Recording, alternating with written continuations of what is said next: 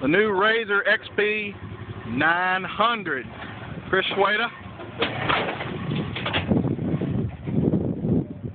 First one in the Soggy Bottom Boys.